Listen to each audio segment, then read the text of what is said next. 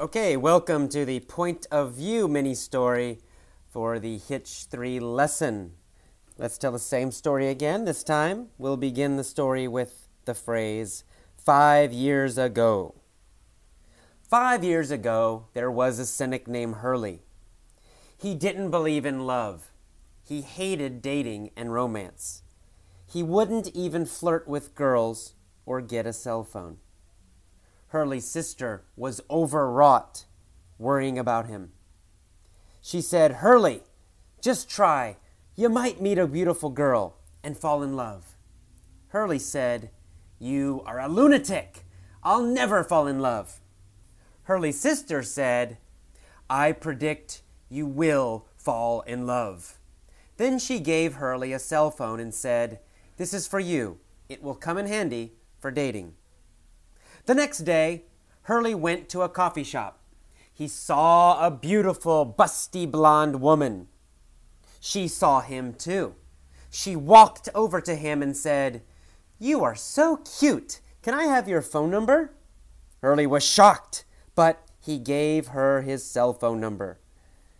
The next night, they went on a date and fell in love. Hurley's sister called him after the date and asked, So, What's the dirt? Hurley said, Well, you called it.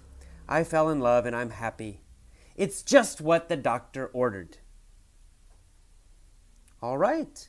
Let's uh, tell the next story. Let's imagine that Hurley was not always a cynic. Maybe in the past he was a realist. Maybe in the past he was an optimist. Maybe in the past he was a romantic. But his heart was broken last year. Last year, his heart was broken. His girlfriend broke up with him, his ex girlfriend. So, since last year, he has been a cynic. He has not believed in love. He has not dated, and he has not believed in romance since last year. Since last year, he won't even flirt with girls. And he has not had a cell phone. He has not gotten a cell phone. During this time, Hurley's sister has been overwrought worrying about him. She said, Hurley, just try. You might meet a beautiful girl and fall in love.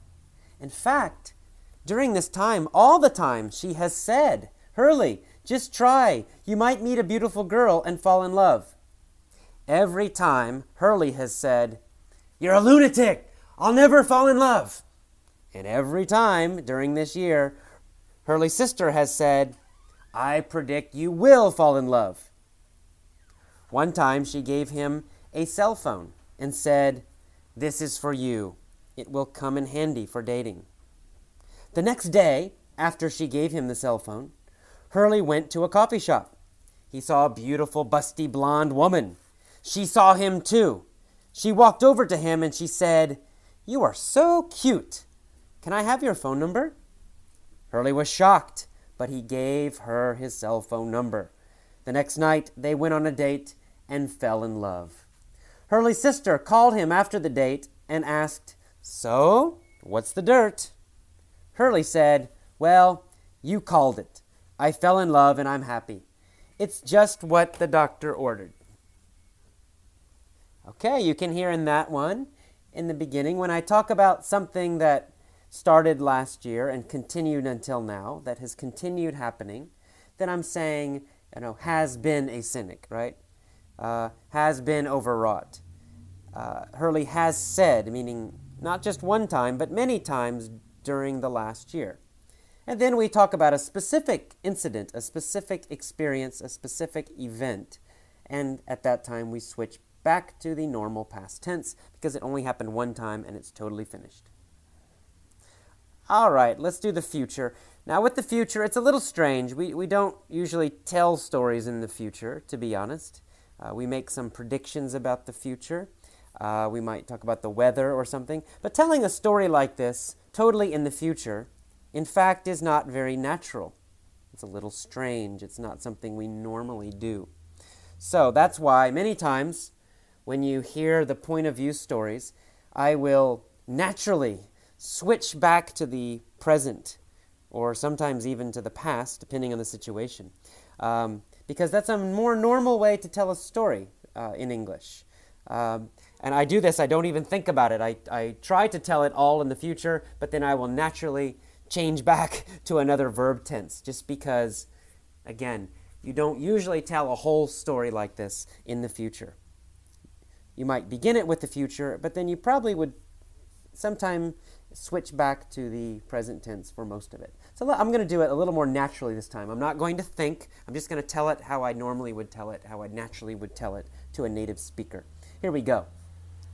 Um, I'm imagining that next year there will be uh, this guy named Hurley, and he will be a cynic. He won't believe in love. He will hate dating and romance.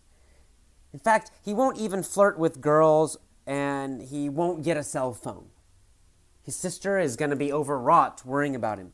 She's going to say, Hurley, just try. You might meet a beautiful girl and fall in love. When she says that, Hurley will say, You're a lunatic. I'll never fall in love. And Hurley's sister will say, I predict you will fall in love. Then she will give Hurley a cell phone and say, This is for you. It will come in handy for dating.